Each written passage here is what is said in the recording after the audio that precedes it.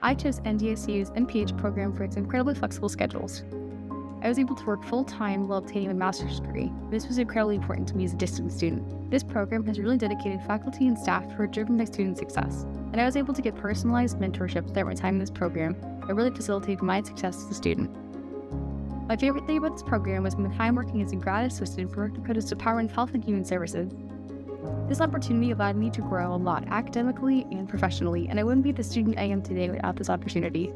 I'm very thankful for all my experiences that NDSU has offered me, and I'd recommend this program to anyone I could.